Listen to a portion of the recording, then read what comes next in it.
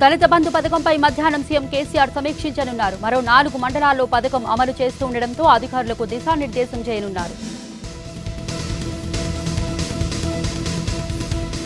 ED విచారణకు నటుడు Navdeep F club manager హాజరయ్యారు. కెల్విన్తో డ్రగ్స్ సంబంధాలు ఎఫ్ క్లబ్లో ఆర్థిక లావాదేవీలపై ఆరా తీస్తున్నారు.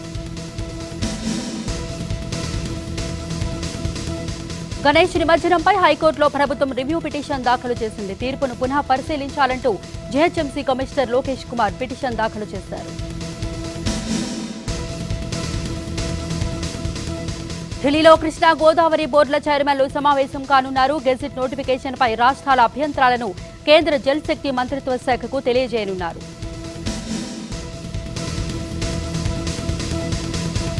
కర్నూలు జిల్లా ఎర్రకోటలో నిరుద్యోగి ఆత్మహత్య కలకలం రేపింది. గ్రూప్ టూ ఉద్యోగానికి ప్రయత్నించి ఉద్యోగం రాకపోవడంతో మనస్తాపం చెందాడు. ప్రభుత్వం నోటిఫికేషన్లు కూడా విడుదల చేయకపోవడంతో ఇంట్లో ఉరివేసుకుని ఆత్మహత్యకు పాల్పడ్డాడు.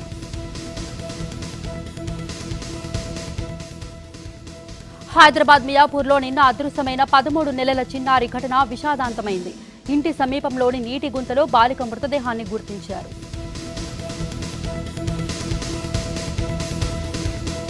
కరీంనగర్ జిల్లా జమ్మికుంట మండలంలో ఓ వ్యక్తిపై దుండగులు పెట్రోల్ పోసి నిప్పంటించారు. మృతుడు విలాసాగర్కు చెందిన సంతోష్గా గుర్తించారు. కేసు నమోదు చేసుకున్న పోలీసులు దర్యాప్తు చేపట్టారు.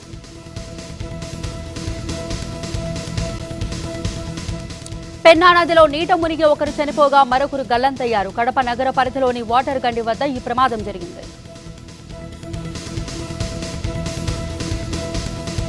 అనంతపురం జిల్లా కదిరిలో బంగారు షాపులో పనిచేస్తున్న యువకుడు దారుణ హత్యకు గురయ్యాడు.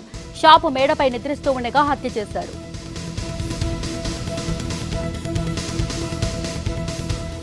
హైదరాబాద్ సింగరేణి కాలనీలో హత్యకు గురైన ఆరేళ్ళ చిన్నారి చైత్ర ఆత్మకు శాంతి కలగాలని బాగ్లింగంపల్లిలో క్యాండిల్ ర్యాలీ నిర్వహించారు. బాధిత కుటుంబాన్ని ఆదుకోవాలని నిందితుడిని కఠినంగా శిక్షించాలని డిమాండ్ చేశారు.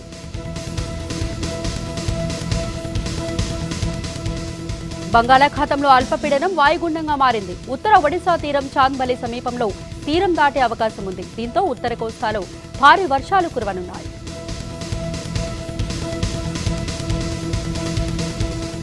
నిజామాబాద్లోని సారంగపూర్ టన్నెల్ వద్ద పంప్ హౌస్ నీట మునిగింది. శ్రీరామ్ సాగర్కు వరద పోటెత్తడంతో బ్యాక్ వాటర్ ఉధృతి పెరిగింది.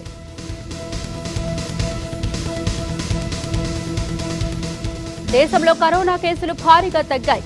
కొత్తగా ఇరవై ఏడు వేల రెండు వందల యాభై నాలుగు కేసులు నమోదయ్యాయి. దీంతో యాక్టివ్ కేసుల సంఖ్య మూడు లక్షల డెబ్బై నాలుగు వేలకు చేరింది. వైరస్తో మరో రెండు వందల పదిహేడు మంది మరణించారు.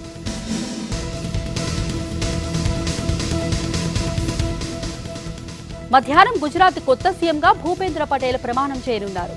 ఈ కార్యక్రమానికి కేంద్ర హోంమంత్రి అమిత్ షా హాజరవుతున్నారు. అనంతరం టాబ్లెట్ కూర్పుపై చర్చించనున్నారు.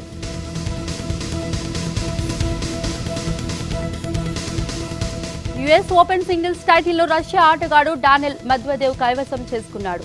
ఫైనల్లో ప్రపంచ నెంబర్ వన్ నొవాక్ జకోవిక్ పై వరుస సెట్లలో విజయం సాధించాడు.